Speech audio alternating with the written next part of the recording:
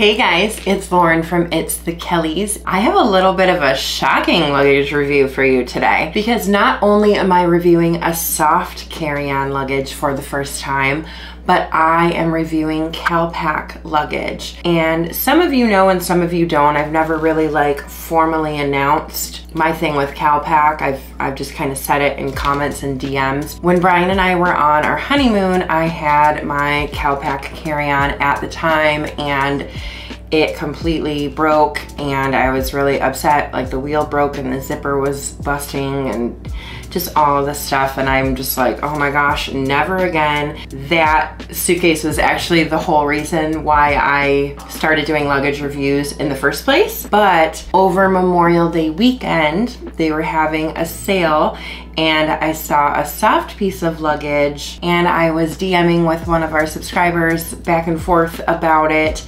and we talked each other into it and we both ended up buying it. Enough of you guys have messaged me about Calpak that I really wanted to give them another chance. I don't know what the excuse was about the bag, but we're gonna try soft luggage today. And disclaimer, I did buy this luggage myself. Look at this wall of free luggage that I get, you guys. Like I, I don't really need any luggage at all, but that's how badly I wanted to try this. I don't have a discount code or anything like that. So I'm just a, just a girl that needs some luggage today. So today we are going to unbox the luggage, measure it for you as always, and then we are going to look at the outside and the inside and all of the features. And then of course, I'm going to pack it for you like we always do so that we can see exactly what it fits. And if you're new here, I travel often and pack well and want to help you do the same. I am headed to my 88th country very soon and I've been to all seven continents and I did it all in a carry-on bag. Please subscribe, comment down below, and follow us on Instagram for even more content. Here it is. And it does say on the box, travel looks good on you. I know it does.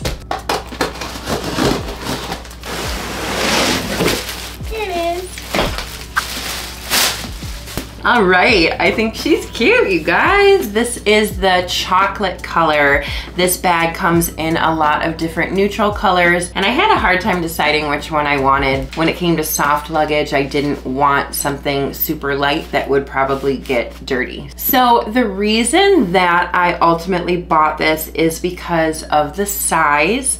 It is a little bit smaller than your typical carry-on bag. I have a lot of trips coming up in 2024 where I'm going to need smaller luggage. I'm gonna use it on my next trip for sure. I leave in a couple of weeks. I'm going to be packing this in a video to show you guys and of course traveling with it and giving you updates along the way at least on Instagram and through some shorts. All right, so let's go ahead and measure it. That's the first thing that we do. So this one, including wheels and handles, yeah, is about 21.5. The actual like body body portion of it is only 19. As for the depth, then of course there's an outside pocket, so we can measure it again once we pack it is about eight and a half. And then the actual width of it is 13 and a half plus this handle. So I'm gonna go ahead and say 14. It does say that it is 6.6 pounds and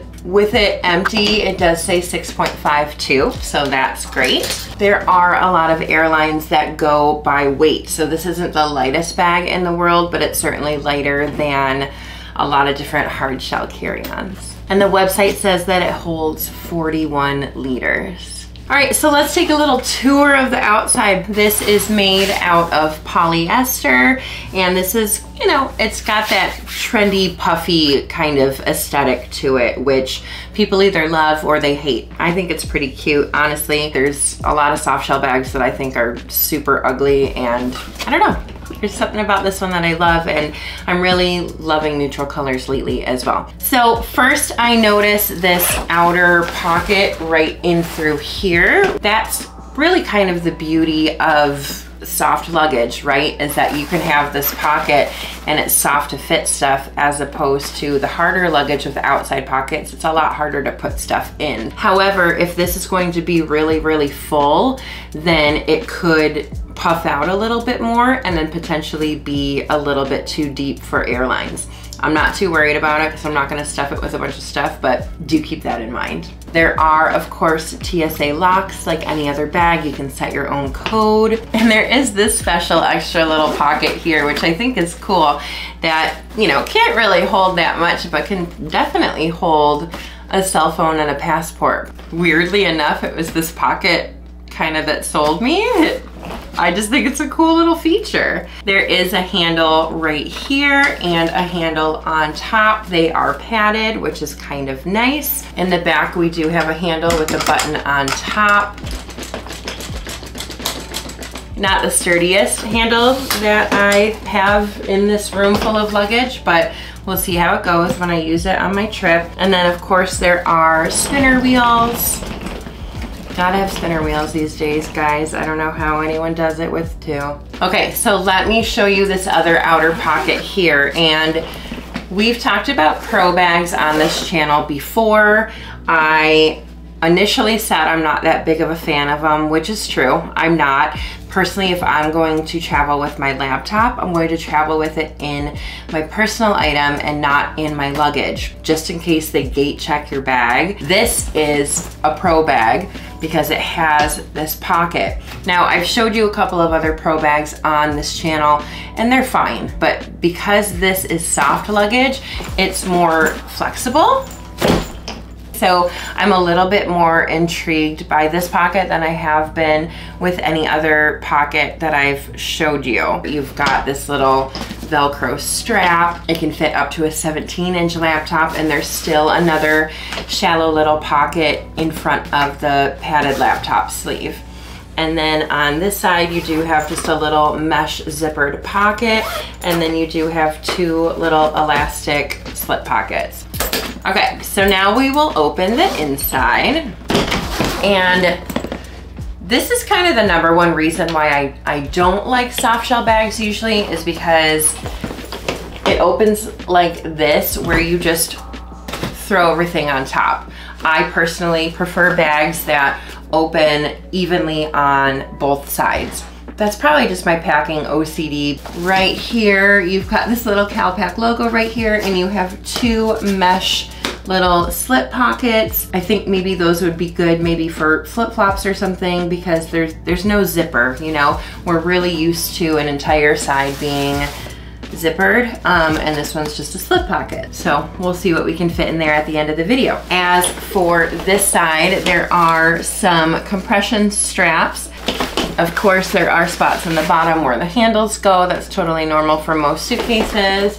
And right here, we have this other little mesh pocket to be able to put some stuff. I never really utilize the mesh pockets like this, but I, I guess I could. I don't know what I would put in it. Let's measure the actual depth of the inside because we measured the outside of the bag, but let's see really how much room we have in here. The actual depth all the way up to the zipper is exactly eight inches, so maybe about seven and a half when it comes to packing.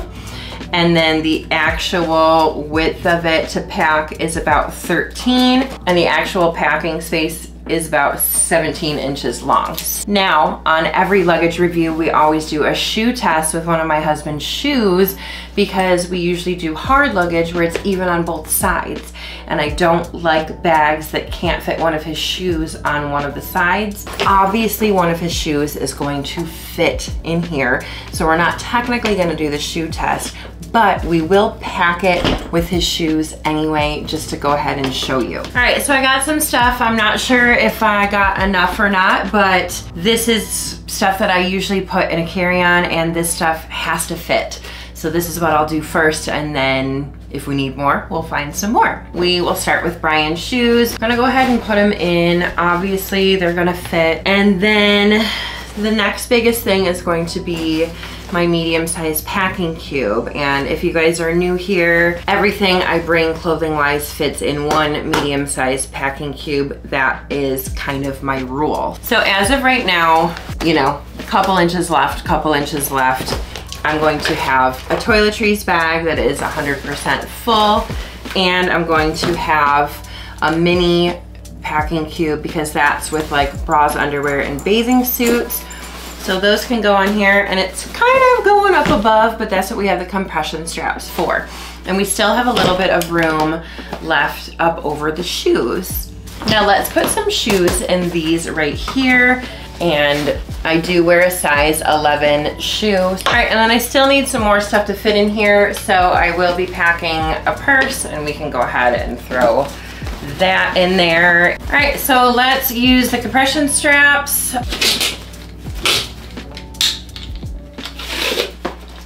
And this part is not expandable, you guys, just so you know. So let's zip that up and then we're gonna fill the outside pocket because I'm always really curious with outside pockets how much it juts out and then therefore gives you a couple more inches of depth, which then could make the bag too big. So of course we can put my 13 inch. It is a pretty snug fit and I think it's also because I have shoes packed on the other side. Um, a lot of pro bags I can fit my MacBook and my iPad, but this is pretty full if you can see. We'll put some sunglasses in the little slip pocket and we will put the wallet in this little slip pocket and see if it closes. Yeah, I can definitely close, but it's getting a little bit too wide here. Before we measure the outside again, let's put my passport in this little cute pocket that I love so much. And it's fully packed. So right now that it's fully packed with everything I just showed you, I want to weigh it again real quick. And it weighs exactly seven kilograms right now with everything packed, which is the weight limit on very stingy airlines. So I'm pretty impressed, even though it's 6.5 pounds, fully packed, still pretty good. Now for the true test, let's measure the real depth now that we have it fully packed. The real depth now is a whopping 10. So I don't know what to think about that. I will be doing a packing video with this very soon where I pack all of my stuff for French Polynesia. So I'm really excited to travel with this and I will be giving live updates along the way if you follow us on Instagram. Anytime I'm traveling, not only do I show you where I am, but I also kind of show you as I'm going through airports and using my luggage and everything like that. So do make sure that you follow us on there. It's a lot easier to update several times a day on Instagram than it is on YouTube because YouTube doesn't have a lot of those features. So if you want live updates, check us out there. Otherwise, I will be doing an unpacking video once I return in July and I will talk about how this bag performed in that video. Let me know if you guys are interested in this bag. Let's talk about soft shell versus hard shell down in the comments. I've only really reviewed hard luggage on this channel and I know we've talked about that a lot, so let's discuss soft ones. And the most important question is, do I need the backpack? I think I might. Or the duffel, or both. Calpak, please sponsor me because I can't afford all this stuff. Ah! All right guys, hope you're subscribed to this channel. I will see you next time when I pack this bag.